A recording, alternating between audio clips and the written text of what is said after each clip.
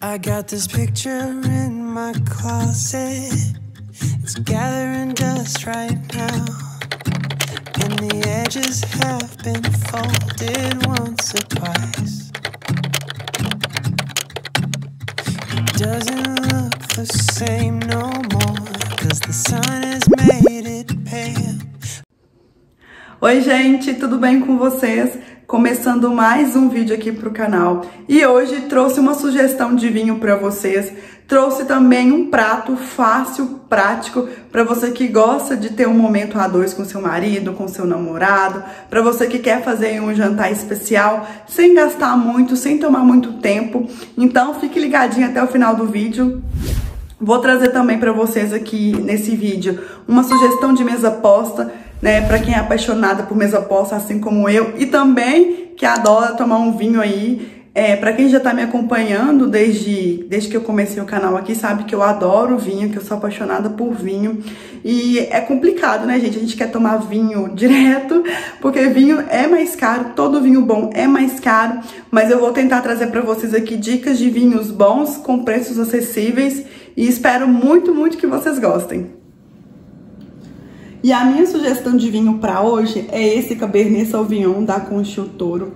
Para quem não sabe, a Conchutoro é uma marca muito admirada no mundo todo. Você consegue encontrar vinhos da Conchutoro hoje em vários supermercados, em adegas, em adegas online também você consegue encontrar. Tem preço, gente, os vinhos da Conchutoro tem preços muito acessíveis, tem vinhos para todos os bolsos, eu, eu digo assim.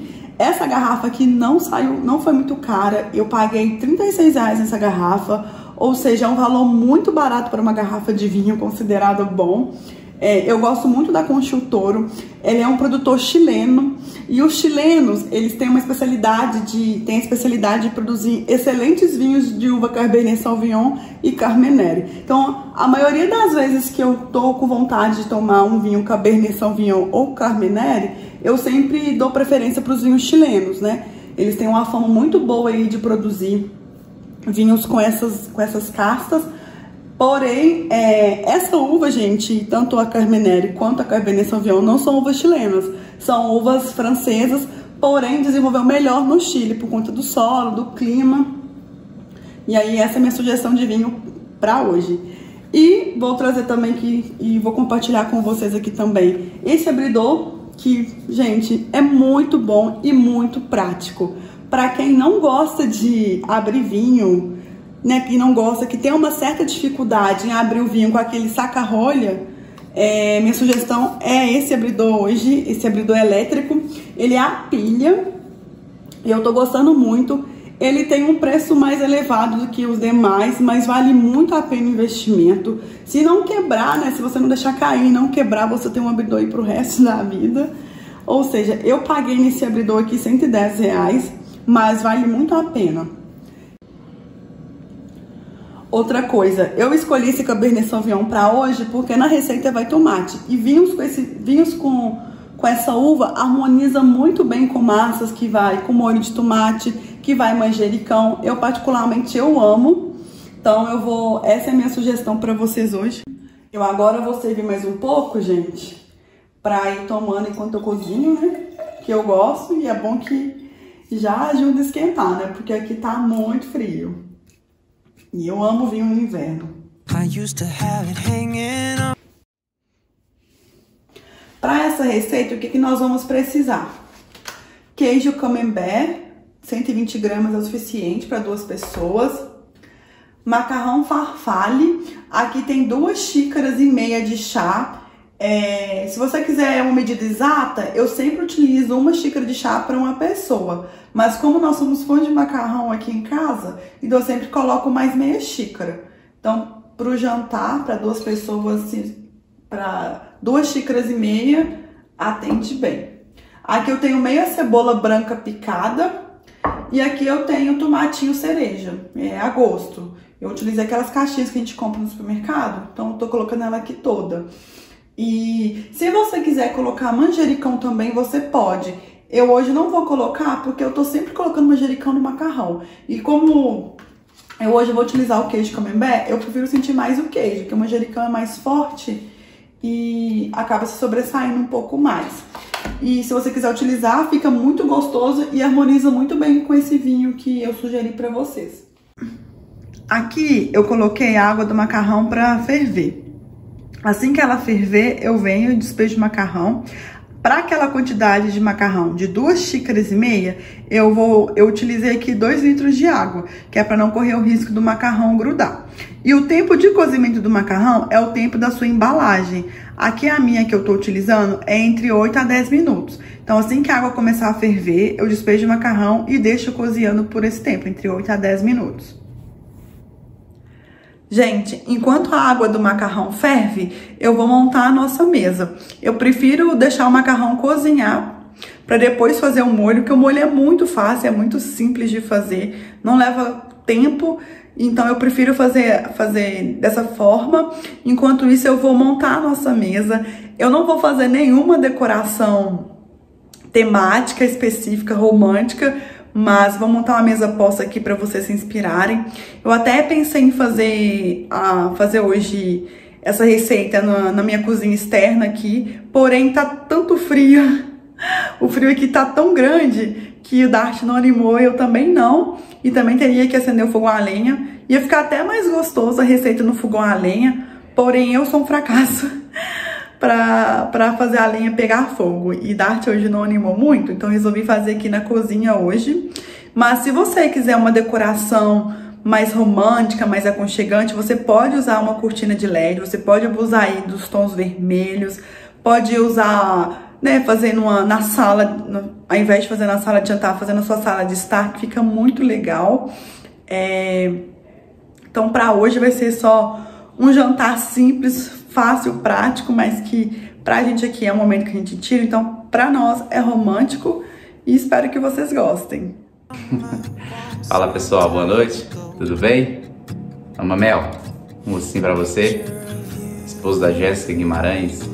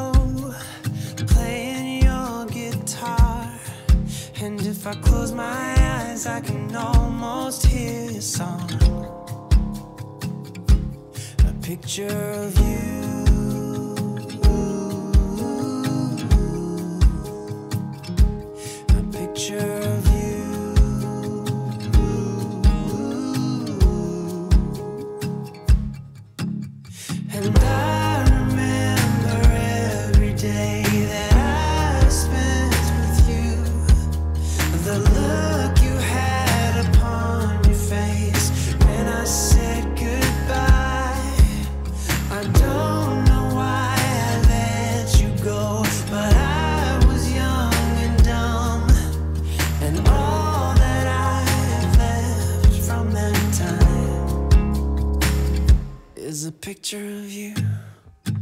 I could talk to you for hours and we stay up all night.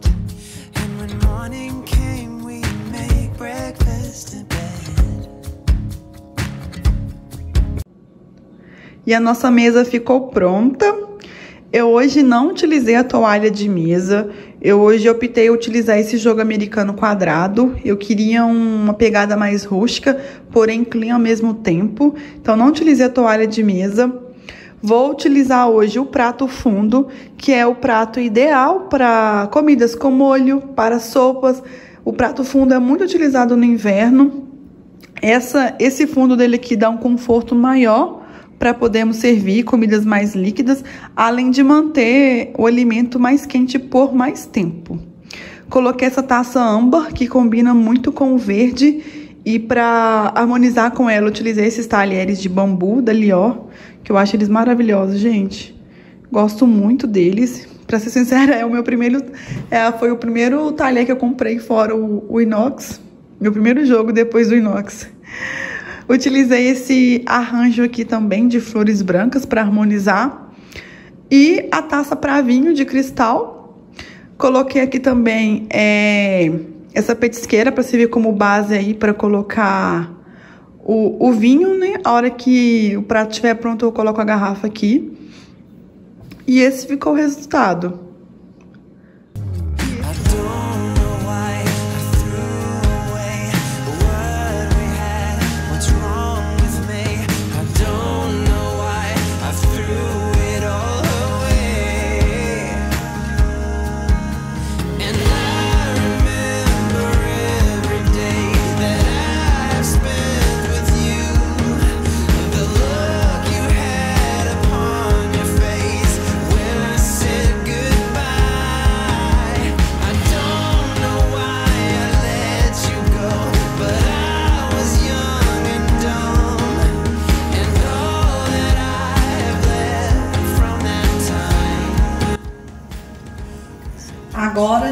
Fazer o molho. Aqui agora eu vou regar com azeite. Eu gosto de bastante azeite, mas eu coloco sempre no olho. Agora eu vou despejar a cebola.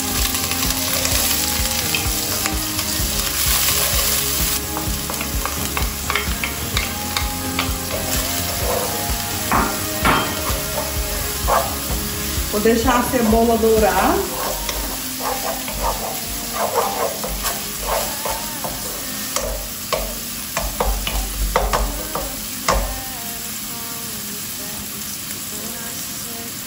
Gente, esqueci de comentar com vocês que é bom colocar um pouquinho de sal no macarrão quando você for fazer, tá bom?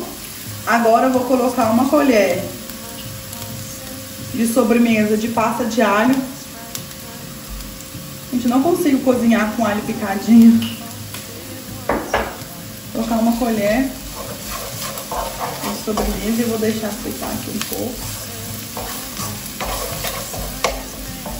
Nossa, o cheiro aqui tá muito bom. Cebola e alho é uma combinação perfeita pra mim.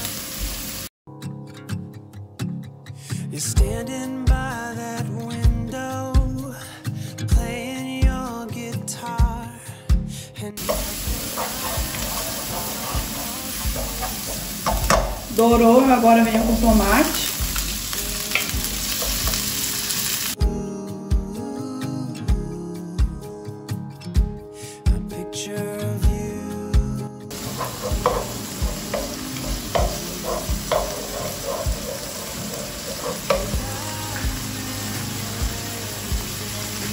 Agora eu vou colocar o queijo para derreter um pouco. Agora eu vou tampar, gente, com fogo baixo para o queijo derreter mais rápido.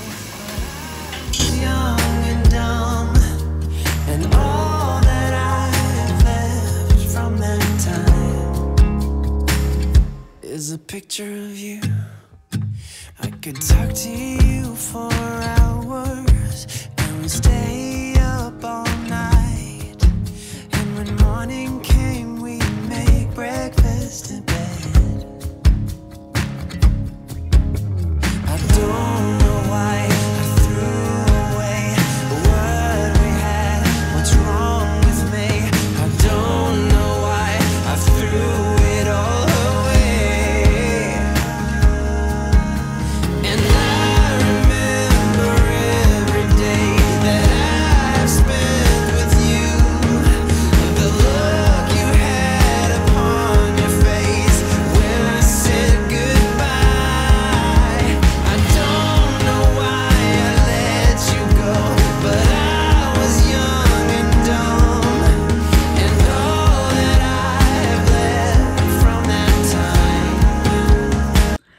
Gente, imagine a delícia que ficou esse macarrão. Ficou muito gostoso.